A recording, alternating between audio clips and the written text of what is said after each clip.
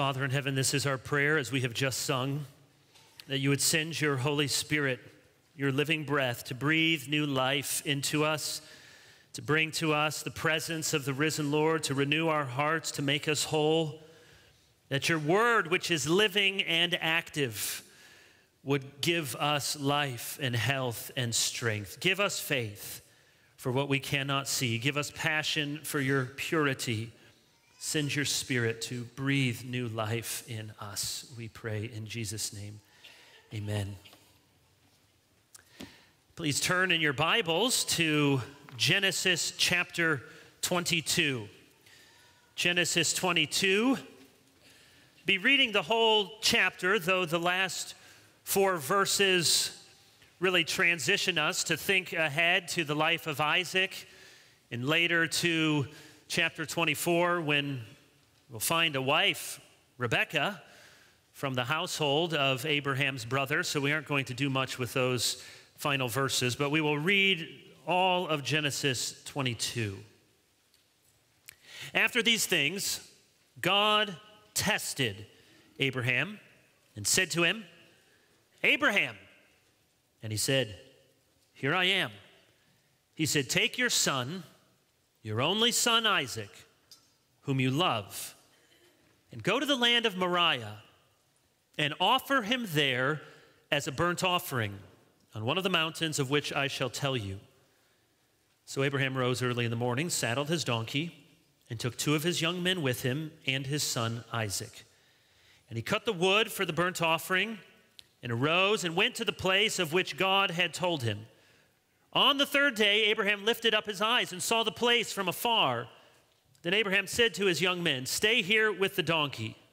I and the boy will go over there and worship and come again to you.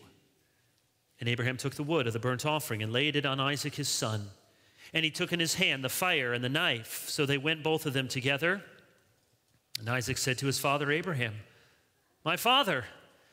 And he said, Here I am, my son. He said, Behold the fire and the wood, but where is the lamb for a burnt offering? Abraham said, God will provide for himself the lamb for a burnt offering, my son. So they went both of them together. When they came to the place of which God had told them, Abraham built the altar there and laid the wood in order and bound Isaac his son and laid him on the altar on top of the wood. Then Abraham reached out his hand and took the knife to slaughter his son. But the angel of the Lord called to him from heaven and said, Abraham, Abraham. And he said, Here I am. He said, Do not lay your hand on the boy or do anything to him, for now I know that you fear God, seeing that you have not withheld your son, your only son, from me. And Abraham lifted up his eyes and looked, and behold, behind him was a ram caught in a thicket by his horns. And Abraham went and took the ram and offered it up as a burnt offering instead of his son. So Abraham called the name of that place, The Lord will provide. As it is said to this day, On the mount of the Lord it shall be provided. And the angel of the Lord called to Abraham a second time from heaven and said, by myself I have sworn, declares the Lord, because you have done this and have not withheld your son, your only son. I will surely bless you, and I will surely multiply your offspring as the stars of heaven and as the sand that is on the seashore. And your offspring shall possess the gate of his enemies, and in your offspring shall all the nations of the earth be blessed, because you have obeyed my voice.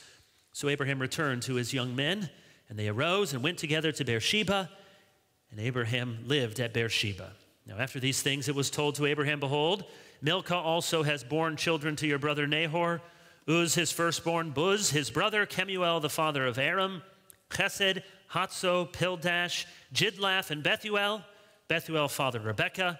These eight Milcah bore to Nahor, Abraham's brother. Moreover, his concubine, whose name was Reumah, bore Tebah, Gaham, Tahash, and Maacah. I imagine that most of us do not like tests. When you hear as a student, exam week is coming, you usually don't think, oh, good, favorite week of the year. You have to take the ACT or the SAT. And these take half the day and use up all your number two pencils. I don't even know if they still do that. Maybe some of you had to take the bar exam or an MCAT or an LSAT or a GRE. Young men studying for ministry have a nerve wracking experience at times to take their ordination exams. Or even those men who prepare to be elders or deacons have to be examined. I generally am not too terrified of tests, and yet there even are those moments. I, I get a little nervous if I'm traveling to another country or back to the country and you have to do passport control. And they ask you that question Why are you here? And suddenly your mind goes blank. Why am I here?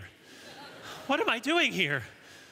I have, I am smuggling many fruits and vegetables I did not declare. oh, that's right, I live here. That's what I'm doing here. Sometimes in another country and they ask, What's the address? I don't know. Just going to a hotel. I'm I'm a pastor, I'm speaking somewhere. No one, eh, very few of us like a test. When we hear test, we don't think fun. And yet, if we're prepared, if we know we can do well on the test, at least we think, well, the experience might be great, but there's something to gain. That basketball player who wants to the shot at the end of the game, give it to me. I'm, I'm gonna make it. The student who's eager for the AP exam because she knows her stuff backwards and forwards. How we view a test depends on whether we're confident that we can pass the test. There's lots of different sorts of examinations. I know this will be very hard for many of you to believe, but when I was a student, I was, I, I was, I was more able and capable uh, mentally than I was athletically. I know it's a big shocker. But I remember uh, I was not a superstar athlete, also a shocker. But I was run I would run cross country and I love running, still love running and my my uh, kids uh, love running whether they like it or not. And I would be running in cross country meets and at some point after a mile and a half and there's great pain and I'm not anywhere near to the front. And I would often have this thought I should be taking a test. I'm much better sitting at a desk taking a test. That's what I'm good at. but I'm doing this. But this is good for me. This this pain, this 5K. But I figured I was better at mental tests than athletic tests. Taking a test is part of life. It can be difficult, painful, but they're also an opportunity to show yourself, to prove yourself, to demonstrate integrity, maturity, capability. We don't perhaps like to think of it this way, but God gives his people tests. He doesn't do it because he's mean. He doesn't do it to trip us up, but he does it to give us an opportunity to prove ourselves, to show what we're really like. Have you noticed these tests before? Exodus 15 25. He cried to the Lord. The Lord showed him a log. He threw it into the water. The water became sweet. Then the Lord made for him a statue and a rule, and there he tested them. Goes on to say, If you do what I command, I will not give you the disease I gave to Egypt. But here's a test. Exodus 16 4. Then the Lord said to Moses, Behold, I'm about to rain bread from heaven. The people should go out and gather a day's portion every day, that I may test them whether they will walk in my law or not. Are, can they follow instructions? Deuteronomy 8 2, you shall remember the, the whole way that the Lord your God has led you these 40 years in the wilderness that he might humble you, testing you to know what was in your heart, whether you would keep his commandments or not. God gives us tests, not to be a cruel teacher but that we might demonstrate what is really in our hearts for our good, for His glory, that it might become evident that we would pass the test. Are you prepared to pass the test that God may put in your life? This passage, this famous text about the sacrifice of Isaac has all sorts of themes. We could go down a lot of different ways and we could talk about atonement, we could talk about Christ, we could talk about any number of things. But right at the beginning, we have the frame. Verse 1 After these things, God tested Abraham. God is not being cruel. He is giving Abraham the opportunity to prove what is in his heart, to prove that God is right, to prove that God is to be feared, to prove that God can be trusted. And so he gives to Abraham a test. Are you prepared for God to give you a spiritual test? Maybe you're in one right now. What can we learn about the testings in life from Abraham? Well, look at a few things. First, when you have a test from God, you may not know that you're receiving a test from God. God may be doing something. He may be testing you this morning and you don't know it. Abraham didn't know it. We're told in verse 1, we're given instruction that we may not panic as we read the story. What is God doing? We understand from the beginning this is a test. He's wanting to prove something. He wants Abraham to prove something. But Abraham did not know it. This word must have come to him with the force of an electric shock.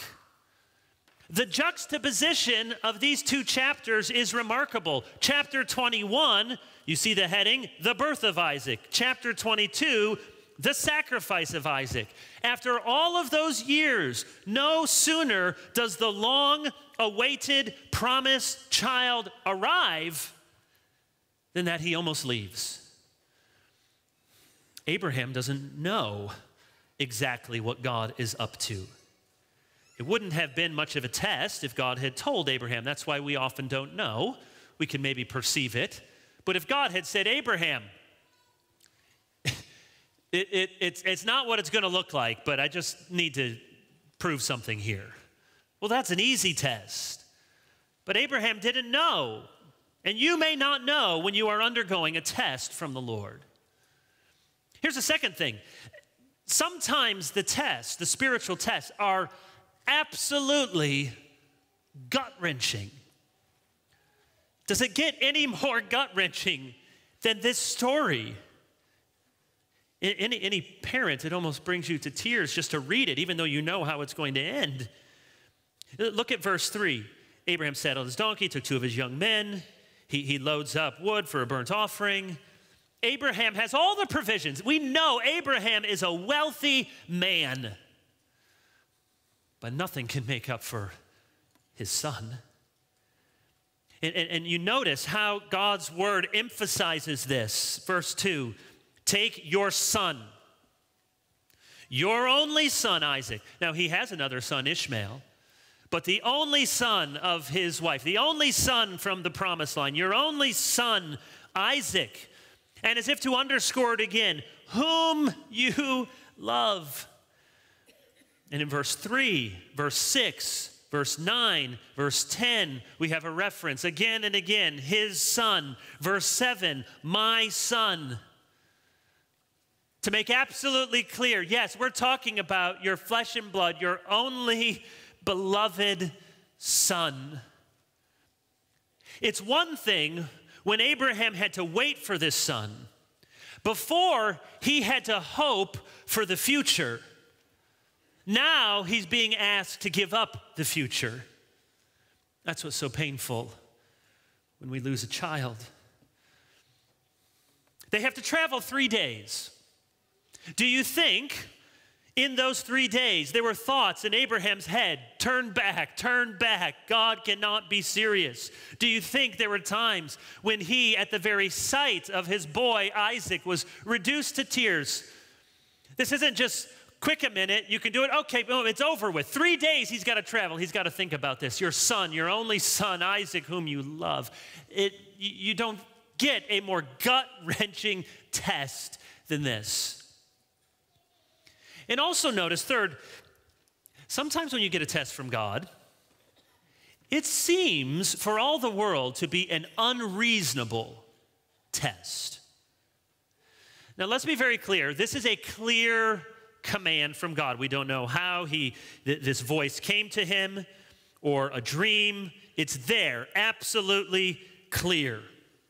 We don't want to move from this story and just deal with our own hunches or our impressions and load upon those the same force and the same weight, let alone that we would feel in a moment of almost psychosis that God was telling us to do something seemingly as evil as this. So we're dealing with a very special case here where God is giving a clear, direct command to God. This isn't an application, an inference, a gray area. He's there speaking to it.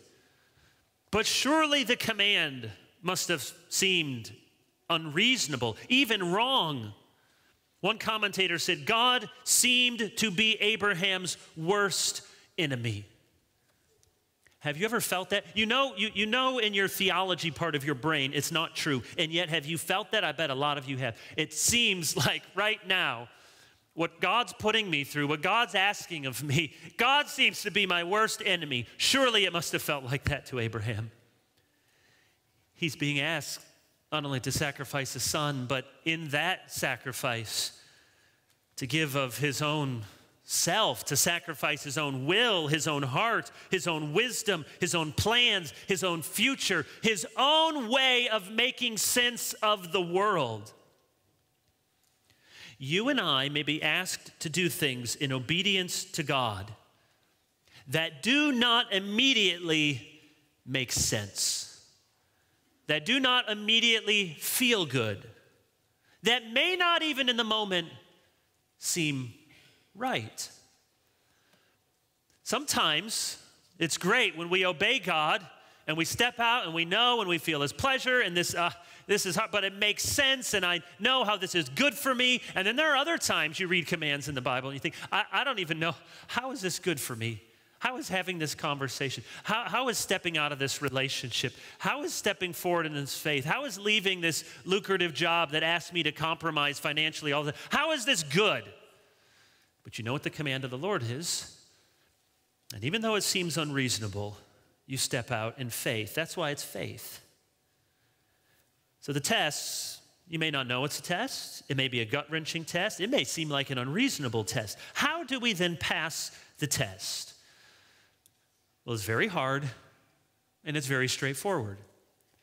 And we'll sing it at the end trust and obey trust and obey. For there's no other way to be happy in Jesus than to trust and obey. Think about both of those words trust.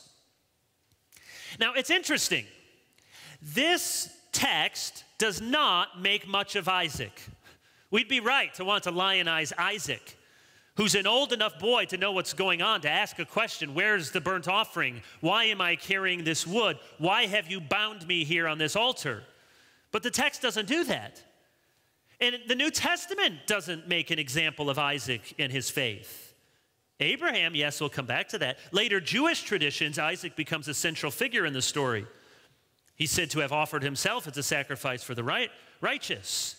In the Quran, it's not Isaac, but it's Ishmael who's praised. But the New Testament doesn't even come back to this really as a story about Isaac. And amazingly, the New Testament does not make Isaac to be a type of Christ, even though we could find a whole lot of parallels. It's hard not to think of them. My son, my beloved son, my only son. Isaac is the lamb, the mount of the Lord. The wood is placed on his back. Three days. It's hard not to make connection to Jesus, raised on the third day, carrying his cross up on the mountain, God's only son. Some people have even tried to argue that the site of Mount Moriah was actually later the site of Calvary, the same mount. And it's proper that we would see a reflection of Christ in this story, and yet we have to be honest, the New Testament doesn't do any of those things.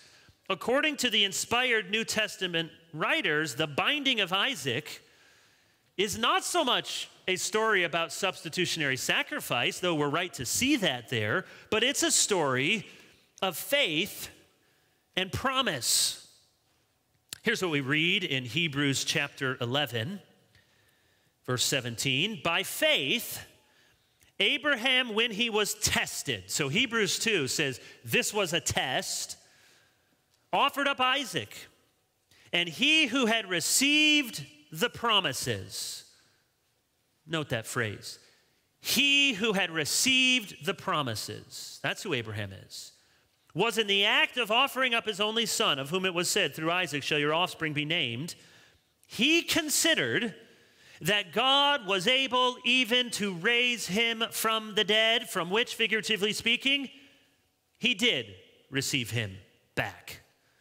So Hebrews looks back and says, This story tells us something about faith. Faith has its reasons that sometimes reason does not understand. Abraham figured God would find a way. Have you noticed before, back in Genesis 22, verse 5, Abraham said to his young men, Stay there with the donkey. I and the boy, we, so Isaac and I, what are we going to do? We'll go over there, we'll worship, and we'll come back again. We, I and the boy, will come back. How? Hebrews tells us Abraham figured some way, somehow, God's going to bring my son back to life. He is the promised son, after all. The Lord gives, the Lord takes away, and it must be that the Lord will give back again. And so, Abraham, with astounding faith, says, Yes, carry the wood, I'll carry the fire. We go to the mountain, we'll come back. Both of you, Abraham? That's right, both of us. We'll come back. Abraham believed that God could raise Isaac from the dead, and in a way, he did. One commentator points out, in a way, twice. Once, Isaac was resurrected from Sarah's barren womb, and another time, resurrected from the altar on Moriah. So, this is a story fundamentally about faith, about trust. Abraham didn't know how all the dots were going to connect. I don't know what this is going to look like.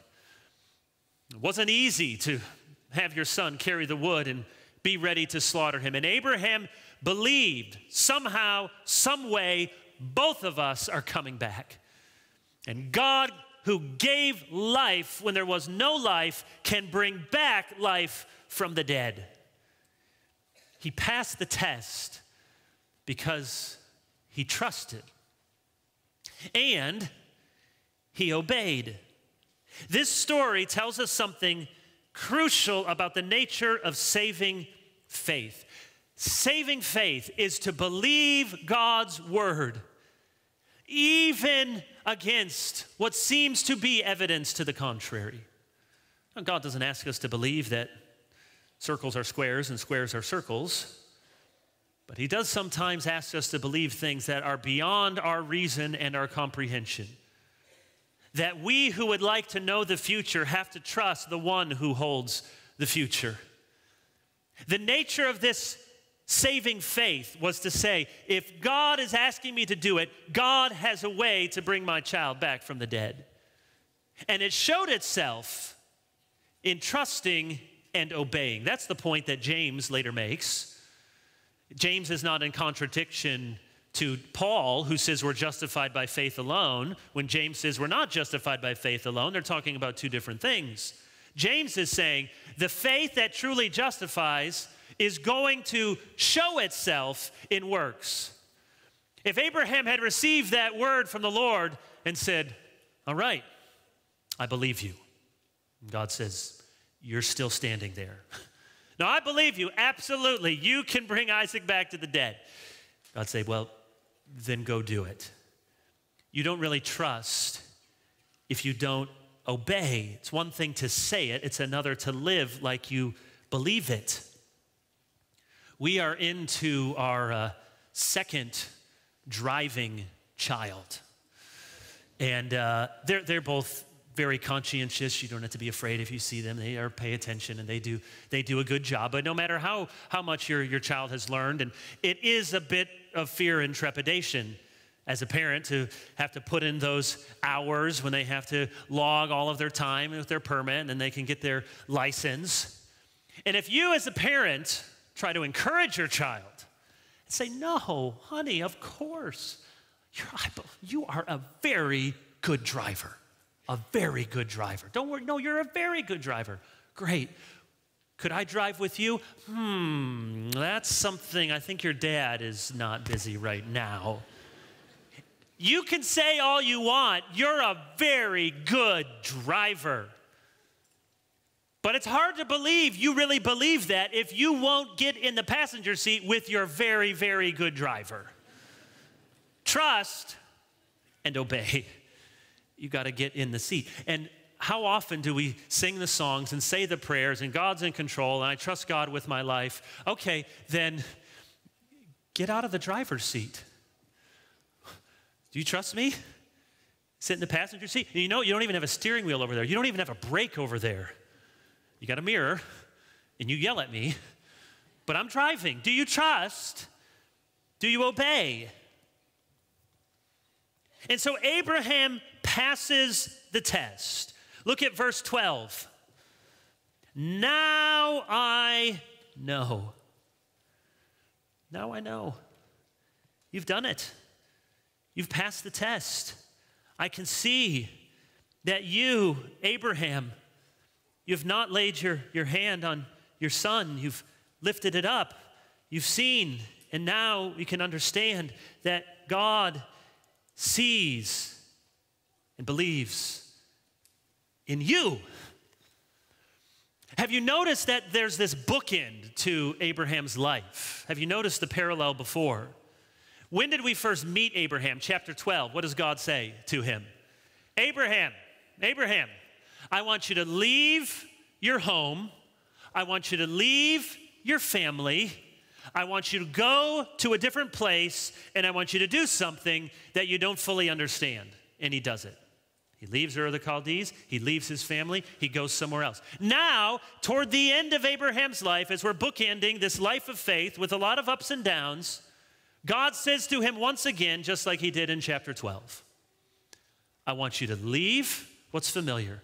I want you to leave your family. I want you to go to a place that I will show you, and I'm going to ask you to do something that you can't quite fully understand. And in both cases, he obeys. And both cases, end with blessing, with promise. And chapter 12, chapter 22, they both end with worship. They both end with an altar to the Lord. A promise that seems unreasonable. Abraham believes, Abraham obeys, Abraham worships, Abraham receives blessing and promise. And notice here in verse 15 and following that God is not just repeating himself. You might say, well, we've heard this, we've been here, done that. Yeah, sand and seashore, stars, skies. No, he's redoubling his commitment. It's a firm declaration the Lord makes an oath, verse 16, by himself. Hebrews 6 will draw attention to this passage. When you make an oath, you swear by something or someone greater than yourself. We still have. You put your hand on the Bible. Or even these colloquial sayings, I swear on my mother's grave, whatever that means. You're, swearing on something precious, something beyond yourself. You wouldn't think to go before the judge. Do you solemnly swear to tell the whole truth, nothing but the truth? Yes, I swear by myself. What? But God has no one higher, nothing greater, nothing superior. He can't swear by anyone but himself. There is nothing higher to authenticate his promise than to swear by his own name. The unchanging character of his promise is tied to the unchanging character of his very person. God does not ask us to have an irrational faith. You say, well, wait a minute, you just said that it's gut wrenching and sometimes it doesn't make sense. Sometimes it doesn't make sense, but that's different than saying it's utterly blind and irrational. Why? Because God, when He asks us to do things that don't make sense to us, nevertheless gives us promises. That's what Hebrews 6 draws out a sure anchor for our soul. God doesn't just say, go do it. He says, go, I'll be with you. Do you trust me? If you trust me, you can obey me. That's how you pass the test trust and obey. The God of promise is there, not just to push you out in, in a, a blind exercise of faith, but to tell you and assure you of his promises. I'm sure there are many of you, maybe you didn't think about it till right now or 20 minutes ago, you are facing some kind of spiritual test. I'm not a prophet, not the son of a prophet. I do work for a nonprofit, ha ha ha. But I don't know, but in this many people, surely it's the case that some of you are in situations like this. There's someone who's contemplating an affair. You've, you've, you've had those conversations at work or, or on texting and hoping that nobody sees. It's felt sort of exciting and dangerous and a spark you haven't felt for some time. You're contemplating whether to take the next step or whether to confess to your spouse and come clean and ask for forgiveness and deal with whatever the many issues are in your marriage. You're, you're at a point and there's, there's a test, and you know, you know, you know what the right thing is, but for all the world, you're, you're trying to convince yourself you're trying to convince yourself, well, God would want me to be happy. God wouldn't want me to feel this way. Is, but think about what He does to me. Well, think about all the ways that she's made my life difficult. It's a test. Will you trust and obey? Maybe you're a single person and you want so much to be married. That's a good desire. But you know that the person that you're getting close to, you're not on the same page spiritually. You're miles apart, or that person may not even be a believer, and you know what the Bible says do not be unequally yoked. And yet you just think about how, how lonely you might be, and God wouldn't want you to be lonely, and how happy you are, and surely you know what the right thing. Will you trust and obey? Is there, there's someone in your life and they've hurt you very, very deeply. You do not want to let go of that hurt because if you let go of it, you feel like you've let them off the hook. Or there's someone who has asked for your forgiveness, and you feel like if you grant them that forgiveness and you forego the justice you deserve, it's like saying it wasn't a big deal, and you're holding on to that bitterness. Or you're a 22 year old and your parents think you're in one place with the Lord, and they think you're doing one thing, and you're doing something very different, and you're this close to just making what seems like an irrevocable break into a very different direction. I don't need this Christianity. I don't need this Jesus. I don't need this church. I don't need these rules in my life. Maybe you're really scared and no one knows that you're pregnant. You're thinking about an abortion. Maybe you're dealing with confusion in your own sexuality and everything in the world says just wrap yourself in the rainbow flag. If it feels good, that's who you are. Just do it. Who are these repressive people telling you to live according to some old book? Maybe you have a job offer and you want to take it, and it's a lot of money, but you know it's going to be bad for your family you know that it's going to take you away. You know you're going to be in situations where you'll have to compromise. Maybe somebody at work is asking you to do something right now, and you just can't even see through, and you think, if I don't go along with this, I might get fired. And you've convinced yourself, I have to go along with it. I have to compromise my faith. I have to compromise a clear command of the Lord because, well, God would want me to provide for my family. You don't think God can bring your job back from the dead? What sort of test are you facing? There's all sorts of examples of people in the Bible. Sometimes they pass the test, sometimes they don't. Joseph, Potiphar's wife, right there, okay. She came on to me, Lord. She's there. She, she's, she's got the, the she's threatening me. I kind of have to. Well, he didn't.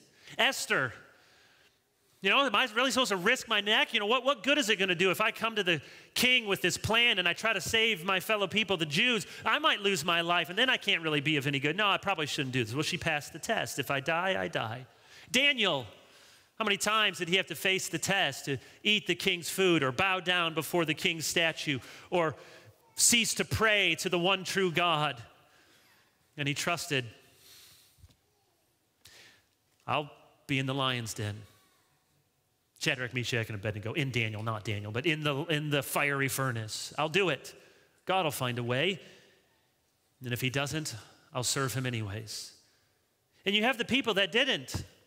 And if you know the stories, you hear the stories, and as many times as you hear Samson's story, don't you want to say, just don't cut your hair. don't trust Delilah, you can't. How many times you hear the David story? David, don't Look out. Don't just put it away. You saw Bathsheba, just stop. Don't go after her. This story in Genesis tells us something not only about the nature of faith to trust and obey, it tells us about the God of promise. Because here's where we're going to end. We, we need to be careful. We don't make this whole story about Abraham's faith. It is about that. But the only reason it can be about Abraham's faith is because it's about God's inviolable promise. That's why you can trust and obey, because you have a God who makes amazing promises to you. Never to leave you, to forsake you, to turn over all things to good for those who love him, who called according to his purpose. To never, you will never ultimately be worse off for having done the right thing. Your life may be difficult. God can bless you. You know, I said earlier that this story is in the Quran. The Quran has the sacrifice, the binding of Ishmael, not of Isaac. There's also another important difference in the Quran's telling. Here's a few verses from Surah 37 of the Quran. It says, Then when he was old enough to accompany him, he said, and it's talking to Ishmael, Oh, my son, I see in a dream that I am sacrificing you. See what you think. He said, Oh, my father, do as you are commanded. You will find me, God willing, one of the steadfast. Then when they had submitted, and put his forehead down. We called out to him, O Abraham, you have fulfilled the vision, thus we reward the doers of good.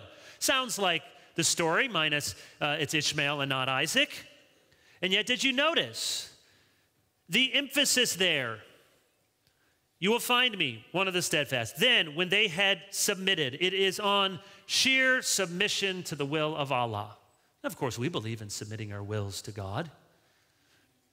But this story in Genesis, we mistake it if we think it is about sheer submission to the will of God. There it is, and I just do it.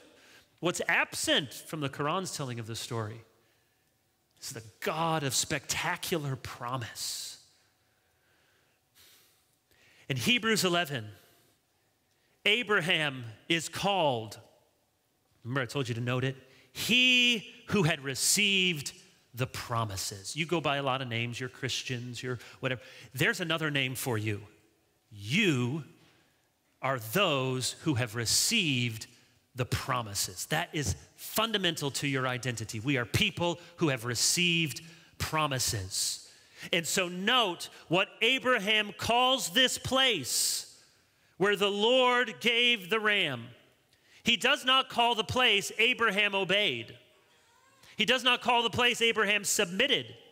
He calls it Jehovah Jireh. The Lord will provide. And how can we not connect at least this one line all the way to Romans 8 32. If he who did not spare his own son gave him up for us all, how will he not also with him graciously give us all things? Indeed, how could he not? the God who gave up his only son. Do you promise? He does. Do you believe? We must. That he will graciously give us all things. You and I will be tested. Some of you are facing the test right now. But there are promises, inviolable promises, so that you and I can trust and obey. Let's pray.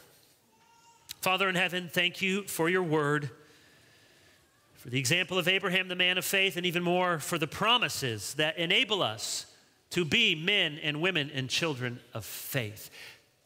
Send your spirit, particularly upon any listening to this message who are in that moment of great testing and they're wavering and they're wandering. Bring them back. Reaffirm to them your many great and precious promises. We pray in Jesus' name. Amen.